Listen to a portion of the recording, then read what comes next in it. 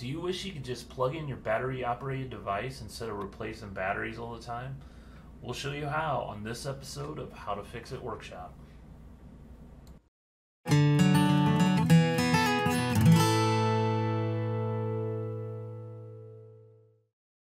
Hi, welcome to How to Fix It Workshop. I'm Greg.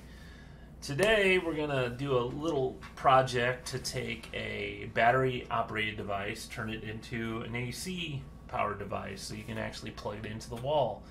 Um, I've noticed that a lot of baby toys, like swings, beds, have a lot of battery operated devices, and and uh, the batteries tend to go out pretty quickly. I found myself changing them a lot. So today we're going to take um, this is a device that hooks to our baby's bassinet and uses four AA batteries. Um, so we're going to take four AA batteries. Each each battery gives you one and a half volts. So four of these total would be six six volts. We need to power this. So we'll need a AC adapter that can uh, give you six volts. So I got one right here. So with this video, you'll be able to plug in your device instead of changing batteries all the time. Find a dowel rod approximately the same thickness as a AA battery, then cut them to the same length.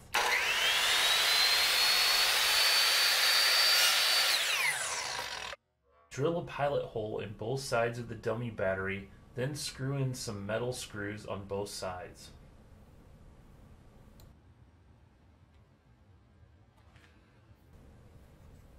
Snip off the connector end of your 6 volt AC adapter, then strip the two wires. Usually on these AC wallwart connectors, the wire with the white stripe or dashed line is positive and the other unmarked wire is negative.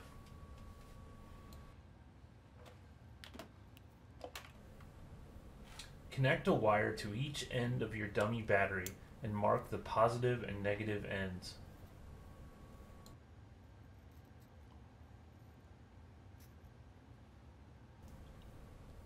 The other three dummy batteries require a wire connected from one side to the other. Then tighten the screws down. The dummy battery hooked to the AC adapter needs to be connected to the positive and negative in the battery slot. The other three dummy batteries can be connected either direction. I used a Dremel tool to cut a small notch for the wire to feed out the back battery cover.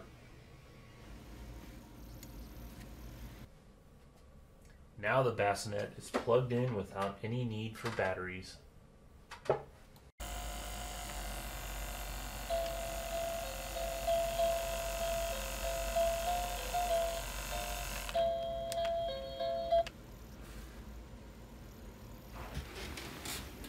Thank you for watching this video. Be sure to check out our other videos on our YouTube channel.